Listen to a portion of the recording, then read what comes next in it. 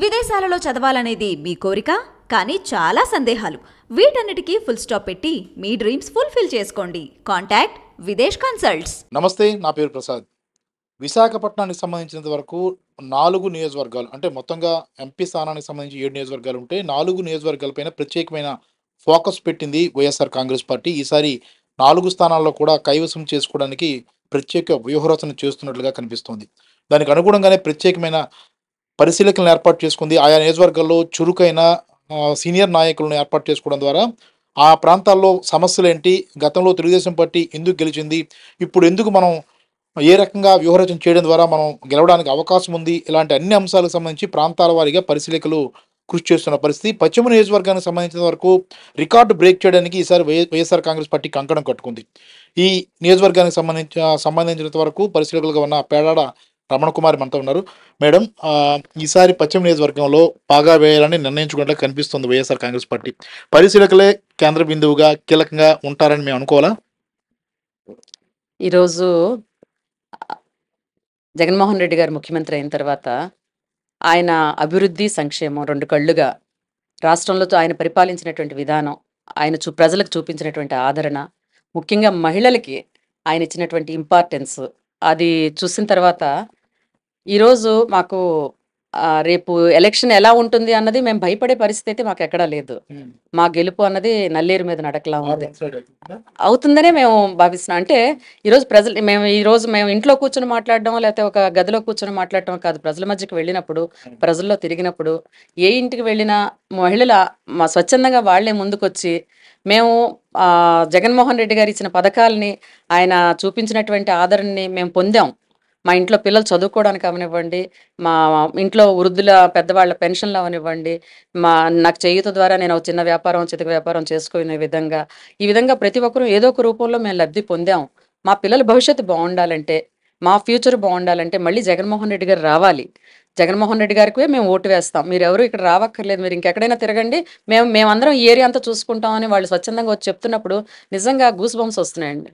అంటే ఒక వ్యక్తి ఇంతమందిని ఈ విధంగా ప్రభావితం చేయగలరా? జగన్మోహన్ రెడ్డి గారు అనేటువంటి వ్యక్తి ఇంత ప్రభావితం చేస్తున్నారా అనేటువంటిది కళ్ళకు కనిపిస్తా ఉంది అక్కడ. ఆయన ఏ రోజు కూడాను ఎవరినో ఇప్పుడు ఈరోజు అది చూసే భయపడి ఇన్ని పార్టీలు ఏకమైపోయి ఈ రోజు మూడు పార్టీలు ఏకమైపోయి ఆయన మీద ఎదుర్కొంటే తప్ప మేము ఎదుర్కోలేము ఆయన పరి అనేటువంటి భయంతో ఈ రోజు వచ్చినటువంటి పరిస్థితి. అంటే మేడం పశ్చిమ నియోజకవర్గంలో ఒక భిన్నమైన వాతావరణం ఉంది. గత రెండు సార్లు కూడా తెలుగుదేశం పార్టీ అభ్యర్థి గెలిచాడు. ఈసారి కూడా అతనికే టికెట్ ఇచ్చిన పరిస్థితి కనిపిస్తుంది. కానీ అతను ఏం చేశాడు అన్న దానిపైన మీరు మీరేమైనా ప్రజల్లోకి వెళ్ళి వివరించే ప్రయత్నం చేస్తున్నారా? అంటే గత రెండు సార్లు కోవిడ్ సమయంలో కూడా తెలుగుదేశం ఎమ్మెల్యేగా ఉన్న వ్యక్తి కనిపించకుండా పోయాడు అన్నది ప్రజల నుంచి వస్తున్న మాట. కానీ ఇలాంటి అంశాలు ప్రజల్లోకి తీసుకెళ్ళే విషయంలో ఏ రకమైన ఆ పరిస్థితి మీరు చూ చూపెట్టబోతున్నారు. అంటే ఇప్పుడున్న ఎమ్మెల్యే ఏం చేశారు ఏం చేయలేదని మేము చెప్పక్కర్లేదండి. ప్రజలు అది చూశారు ఆల్రెడీ. కానీ రెండేళ్ళుగా మ్, ఆనంద్ కుమార్ గారిని ఇక్కడ మా ఇన్ఛార్జిగా నియమించిన తర్వాత జగన్మోహన్ రెడ్డి గారు ఈయన ఏ ఒక్క రోజు కూడా వృధా చేయలేదండి. నిత్యం ప్రజల్లో ఉన్నారు. నిత్యం ప్రజల సమస్యల మీద పోరాటాలు చేశారు. అటు అధికారుల నుంచి అవనివ్వండి గవర్నమెంట్ నుంచి అవ్వండి చేయాల్సిన పనులన్నీ కూడా ఆయన చేయగలిగే పనులన్నీ చేస్తూ ఆయన సొంత నిధులతో ఒకవేళ పొరపాటున కరెంటు బిల్లు ఎక్కువ వచ్చి పెన్షన్ రాని వాళ్ళకో లేకపోతే ఇల్లు ఆమ్, పేరు నుండి పెన్షన్ రాని వాళ్ళకో ఇలాంటి వాళ్ళకి సొంత నిధులతో ఆయన పెన్షన్స్ ఇచ్చారండి. అలాగే యువత ఉన్నారు. యువతకి ఉద్యోగాలు మన గవర్నమెంట్ ఆల్రెడీ అకామిడేట్ చేసింది అటు వాలంటీర్ వ్యవస్థ ద్వారా సచ సచివాలయ వ్యవస్థ ద్వారా చాలా మందికి ఉద్యోగాలు కొత్త కొత్త ప్రాజెక్టులు ఆంధ్రప్రదేశ్కి తీసుకొచ్చి వైజాగ్ విశ్వ ఎస్పెషల్లీ తీసుకొచ్చి అకామిడేట్ చేసినప్పటికీ కూడా ఇంకా ఉండిపోయిన యూత్ ఎవరైనా ఉంటే ఉద్యోగాలు లేకుండా ఉంటే వాళ్ళకి ఉద్యోగాలు ఏర్పాటు చేయాలని చెప్పి ఈయన ఆమ్, ఆ జాబ్ మేళాలు క్రియేట్ చేసి ఆ జాబ్ మేళాల్లో సుమారుగా రెండు మూడు వేల మంది యువత ఉద్యోగాలు వచ్చే అవకాశాలు కల్పించారు. ఇంక ఇందులో కూడా ఆ జాబ్ మేళాలో ఆయన గమనించింది. ఇంగ్లీష్లో వాళ్ళు ఆన్సర్ చేయలేకపోతున్నారు. ఇంగ్లీష్ పట్టు సరిపోవటం లేదు. ఈ ఎంఎన్సీ కంపెనీస్కి అది అవసరం అని చెప్పి వాళ్ళందరికీ కూడాను స్పోకెన్ ఇంగ్లీష్ క్లాసెస్ ఫ్రీగా కోచింగ్ ఇప్పించటం అలాగే హెల్త్ బాగోపోతే వాళ్ళకున్న హాస్పిటల్ ద్వారా అవనివ్వండి. లేదు ఇక్కడ అవ్వనప్పుడు ఇంకా వేరే డాక్టర్స్ దగ్గర పంపించైనా స్వయంగా ఆయన ప్రతి ఒక్కటి కూడా ఇండివిజువల్గా ఆయన అటెండ్ అవుతారండి ప్రతి ఒక్కటి కూడా. ఇంత ముందు లేదు. ఈ రోజు ఈ రోజు ప్రజలు కూడా అది గమనిస్తా ఉన్నారు. అంతేకాకుండా ఇప్పుడు రోడ్స్ అవనివ్వండి కాలువలు అవనివ్వండి సామాజిక భవనాలు అవనివ్వండి ఇలాంటివన్నిటికీ కూడా ఆయన గవర్నమెంట్ నుంచి అయితే గవర్నమెంట్ నుంచి చేయించారు లేనప్పుడు ఆయన సొంత నిధులు ఇచ్చి చేయించారు. అది ఈ రోజు ప్రజలు గుర్తించారండి ఆయన్ని. ఇంకో- ముఖ్యమైన విషయం మేడం ఆ, కీలకమైన సమస్యలు పశ్చిమ నియోజకవర్గం ఉన్నాయి. ఒకవైపు పంచగ్రామాల సమస్య కానీ లేదంటే మరి కొన్ని సమస్యలు ఉన్నాయి. అలాంటి ఇలాంటి వారి వాటి విషయంలో వైఎస్సీపీ ద్వారా ఎలాంటి హామీని మీరు ఇవ్వబోతున్నారు ప్రజలకు? ఇది కీలకంగా ఉన్న సమస్య వేలాది మందితో కూడుకున్న వ్యవ- వ్యవహారం కాబట్టి. ఈ విషయంలో తెలుగుదేశం పార్టీ ఫెయిల్ అయింది. మాటలు చెబుతూ వచ్చింది. కానీ వైసీపీ వచ్చిన తర్వాత ఇప్పుడు రేపు ఎన్నికల్లో ఎలాంటి మనం హామీ ఇచ్చి వారిలో ధైర్యాన్ని నింపబోతున్నాం? ఈ రోజు జగన్మోహన్ రెడ్డి గారు ముఖ్యమంత్రి అయిన తర్వాత ఆయన చాలా డేరింగ్ డాషింగ్ వెళ్ళారండి ప్రతి దాంట్లో కూడాను. చేయాలనుకున్నది ఖచ్చితంగా చేసి చూపించారు. మీరు మా మీరు ఇప్పుడు అడిగారు కాబట్టి పంచగ్రామ సమస్య నేను చెప్తున్నా. దీర్ఘకాలంగా ఉండిపోయినటువంటి సింహాచలం రోడ్డు అవనివ్వండి అరిలోమ నుంచి. ఆ రోడ్ ఎక్స్టెన్షన్ ఇంతవరకు చేయలేకపోయారండి. టీడీపీ గవర్నమెంట్లో ఎవరు చేయలేకపోయారు. దాన్ని ఆయన పరిష్కరించి రోజు రోడ్ అదంతా కూడా వైడనింగ్ అవుతుంది డెవలప్మెంట్ అవుతుంది. అలాగే ఈ పంచగ్రామ సమస్య మీద కూడా ఆయన చాలా దృష్టి పెట్టారు. యాక్చువల్గా అయిపోవలసి ఉండింది.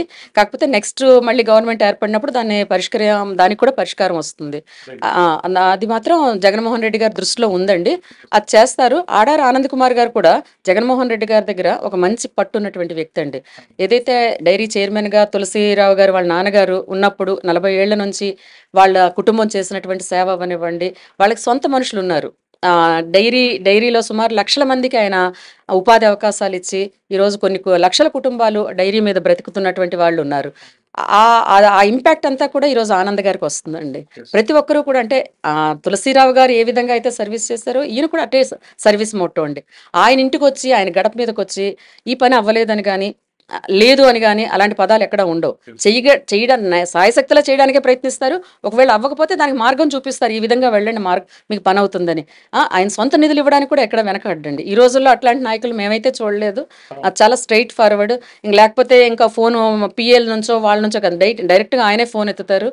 ఆయనే సమస్య వింటారు. దానికి వెంట వెంటనే దానికి సమస్యను పరిష్కరిస్తారు. అంటే ఇలాంటి నాయకత్వ లక్షణాలు ఉన్న ఆడారి ఆనంద్ కుమార్ గారికి పశ్చిమ నియోజకవర్గ ప్రజలు ఆశీర్వదిస్తారన్న పూర్తి నమ్మకం ఇప్పుడు వచ్చిందా మేడం? అంటే ఇప్పటికి మీరు చాలా యాక్టివ్గా ప్రచారంలో పాల్గొంటున్నారు వాళ్ళ కుటుంబ సభ్యులతో ప్రచారంలో పాల్గొంటున్నారు ఆడారి ఆనంద్ కుమార్ గారితో చాలా వార్డులు తిరిగారు. ఎలాంటి పరిస్థితి కనిపిస్తుంది? అంటే ప్రజల ముఖాలు చూసినప్పుడు అర్థమైపోతుంది మనకి. అంటే మీలాంటి సీనియర్ నాయకులకి అర్థమైపోతుంది వీళ్ళు ఓట్లు వేస్తారా లేదనేది. మీకు ఎలా అనిపిస్తుంది? అంటే పాజిటివ్ వాతావరణం ఉందా? పశ్చిమ నియోజకవర్గం నాకు చాలా కొట్టిన పిండి అండి ప్రతి ఇంటికి వెళ్ళి పేరు పెట్టి పిలిచి నేను వాళ్ళతో మాట్లాడగలను. ఐదేళ్ళు ఇక్కడ ఇన్ఛార్జిగా చేశాను ఒకసారి ఎమ్మెల్యేగా కంటెస్ట్ చేశాను.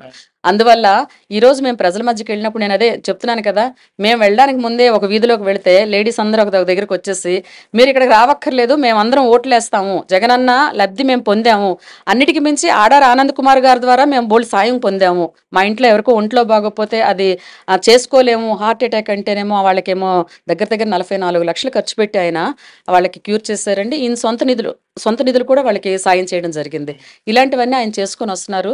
ఇంతవరకు ఇట్లా ఇట్లాంటి ప్రజాప్రతినిధులు మేము చూడలేదు. ఇట్లాంటి రాజకీయ నాయకుడిని మేము చూడలేదు. తప్పకుండా మేము చేస్తాము అనేటువంటి ఒక ధైర్యం భరోసా మాకు ఇస్తున్నారు వాళ్ళు తిరిగి.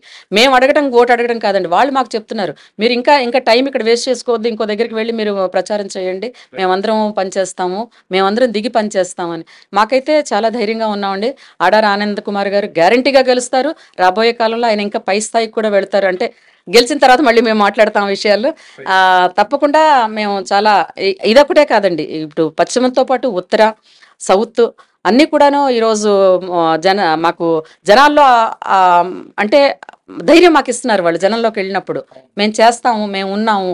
అంటే జగన్మోహన్ రెడ్డి గారు ఎలా అయితే ప్రజలు ప్రజలకు నేనున్నాను నేను చేస్తాను అని ఆయన అన్నారో ఆ, ఈ రోజు ప్రజలు మమ్మల్ని ఆ మాట అనే పరిస్థితి. మేము ఉన్నాము మీరు వెళ్ళండి మేము చేసి పెడతాం అని చెప్పి ఆ ధైర్యాన్ని భరోసాని మాకు ఇస్తున్నారు. మేము తప్పకుండా గెలిచి వచ్చి మేము మళ్ళీ మీ ముందుకు వస్తామని చెప్పి తెలియజేస్తాం చూసుకుంటాం కదా ఏదైతే విశాఖపట్నంలో ఒక సానుకూల దృక్పథం అనేది ప్రజల నుంచి కనిపిస్తోంది దీని పట్ల వైసీ వైసీపీ వర్గాల్లో ఆనందం వ్యక్తమవుతోంది. గతంలో రకరకాల పరిణామాలు టెక్నికల్ ఇష్యూస్ రకరకాల సమస్యల కారణంగా వైసీపీకి దూరమైన ప్రజలంతా కూడా ఇప్పుడు ఏకీకృతం అవుతున్న పరిస్థితి కనిపిస్తోంది. ఖచ్చితంగా వైసీపీని గెలిపించాలన్న లక్ష్యంతో వారందరూ కూడా తమకు తిరిగి ఆశీర్వదిస్తున్న పరిస్థితి కనిపిస్తుందని పేడాడ రమణ కుమార్ చెప్తున్న పరిస్థితి. ఆమె కీలకంగా వ్యవహరిస్తున్నారు పశ్చిమ నియోజకవర్గంలో పరిశీలకులుగా ఉంటూ అన్ని ప్రాంతాల్లో తిరుగుతున్నారు. ఎక్కడెక్కడ ఎలాంటి పార్టీకి వ్యతిరేకత ఎక్కడ ఉంది వాటిని ఏ రకంగా అనుకూలంగా మార్చుకోవాలి ఇలాంటి అంశాల మీద ప్రత్యేకంగా ఫోకస్ పెడుతున్నారు.